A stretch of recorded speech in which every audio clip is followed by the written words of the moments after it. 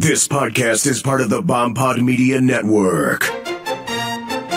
Happy Wednesday, Weirdos! From DailyDoseOfWeirdNews.com, I'm Darren Marlar, and this is your Daily Dose of Weird News. Some new events are currently being considered for upcoming Olympic Games. They include poker, foosball, video gaming, and pole dancing. Man, is it any wonder the Olympics get fewer and fewer viewers every four years? I mean, really, what's next? Monopoly? Hungry Hungry Hippo? Well, Halloween is gone and the holidays are right around the corner, and that said, the average American is expected to cough up around $700 this holiday season, unless you manage to break up with him or her right after Thanksgiving, and that'll cut down on your costs. A Japanese company created a $150 noise-canceling ramen fork to cover up slurping noises. Who makes slurping noises with a fork? President Trump raised a few eyebrows when he distributed Halloween candy to children of the White House press corps. He expressed shock that the media produced such beautiful children. He even commented on the children's weight while handing Hershey's Kisses to the young trick-or-treaters, telling them that it was okay to take the candy because they didn't appear to have weight problems. Wow! Man, you know you've got talent when you can create division and controversy simply by passing out candy to kids. UPS estimates it'll deliver 750 million packages between Thanksgiving and Christmas this year. Porch thieves are already aware of this. Oakland A's catcher Bruce Maxwell allegedly aimed a gun at a female driver Saturday evening and was arrested for aggravated assault. Neither snow, nor rain, nor heat, nor gloom of night stays these couriers from oh heck no! SeaWorld has announced that they're laying off 350 workers in San Diego and Orlando, which is incredibly sad for those having to seek employment elsewhere. I mean, what else are dolphins and killer whales qualified to do? In Pennsylvania, 21-year-old Michael Rosado Jr. was sentenced to 7.5 to 15 years after pleading guilty in August to robbery and three counts of burglary. All of this for stealing $1 and a household plant that he apparently thought was marijuana during a series of break-ins. Police say Rosado broke into Jabberjaw's Bar and Grill in Allentown. The manager confronted Rosado but backed off when Rosado pointed a gun at him. Rosado then made off with a keepsake dollar, you know, one of those dollars that's in a picture frame right above the cash register. Well, from there, police say Rosado broke into a house and left with a plant, a single plant. Officers say he then threatened a woman with his gun before taking her purse. He was arrested shortly thereafter. Well, now that Halloween is past, Americans are actually coming up on a fairly significant anniversary. November 8th will be one year since America elected Donald Trump the President of the United States. And it appears many Americans from coast to coast plan to commemorate the one-year anniversary by screaming their heads off Thousands of Facebook users have signed up to attend events in Boston, New York, Miami, Philadelphia, Dallas, Austin, and in Bellingham, Washington. The idea is that collectively the protesters will all scream at the same time, and so far 33,000 have signed up. Joanna Schulman, who helped organize the Boston event, said, Coming together reminds us that we are not alone, that we are part of an enormous community of activists who are motivated and angry whose actions can make a difference.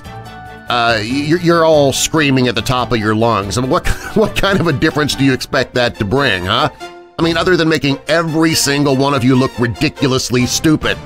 But then again, I'm guessing uh, you were that way before because there's no other explanation for coming up with this idea. 50 different Walmart stores will soon have robots roaming the aisles of the stores, mostly dedicated to asking people not to squeeze the Charmin. Okay, yeah, I know I'm reaching way back for that one. I, I know. Simon Cowell's fall down the stairs last week was due to his ongoing struggle with low blood pressure. Although I was going to guess his brain just couldn't take any more mediocre talent auditions and shut down on him.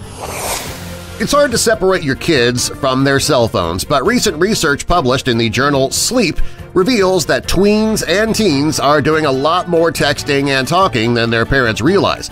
In fact, 62% of the kids surveyed admitted to using cell phones even after they've gone to bed for the night. You know, kids are not the only ones. I have to go to bed an hour and a half early, I mean, just so I have enough time to catch up on YouTube and Facebook. It's ironic tragedy on a grand scale in Arlington, Virginia. A 12-year-old boy jumped from a highway overpass and police believe it was a suicide attempt. He landed on the moving vehicle of 22-year-old Marissa Harris, killing her.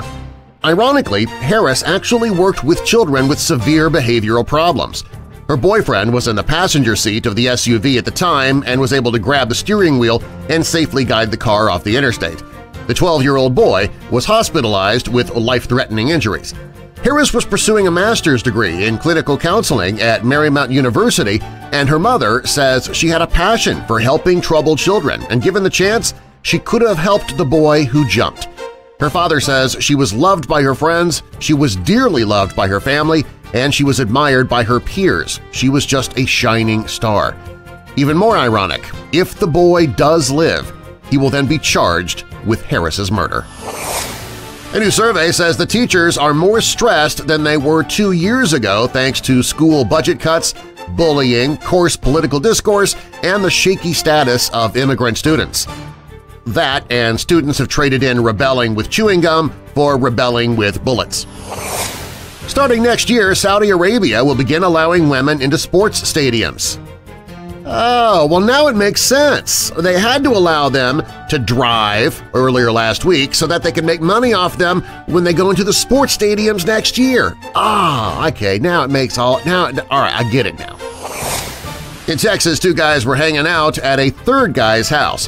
One of the two went to the fridge and helped himself to some pickles.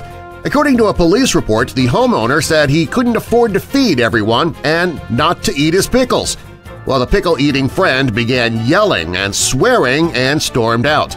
Later he came back, went into the fridge, pulled out the jar of pickles again, and threw it at his homeowner friend. Police were called and the pickle-eating friend was escorted out of the home. Now instead of pickles, he's in a jam. Ada Keating is 98 years old and believes one thing most adamantly – you never stop being a mom. She has moved into a British retirement home so that she can help care for an 80-year-old man who happens to be her son, whom she feels needs more care and support than he was getting. Keating has joined her son Tom at Mossview Care Home in Liverpool, where she has been since 2016.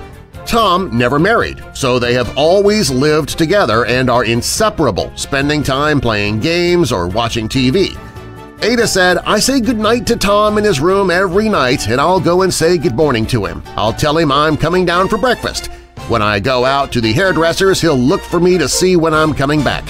When I get back, he'll come to me with his arms outstretched and give me a big hug. Tom adds, she's very good at looking after me. Sometimes she'll say, behave yourself, and care home manager Philip Daniels says it's very touching to see the close relationship both Tom and Ada share, and we are so pleased we're able to accommodate both of their needs. Okay, yeah, all right, the story is sweet, but dude, you're 80 years old. It might be time to cut the cord. Get the Daily Dose of Weird News podcast for Apple or Android at dailydoseofweirdnews.com. And please leave a review on iTunes if you like the show. I'm Darren Marlar, and I'll see you next time, Weirdos!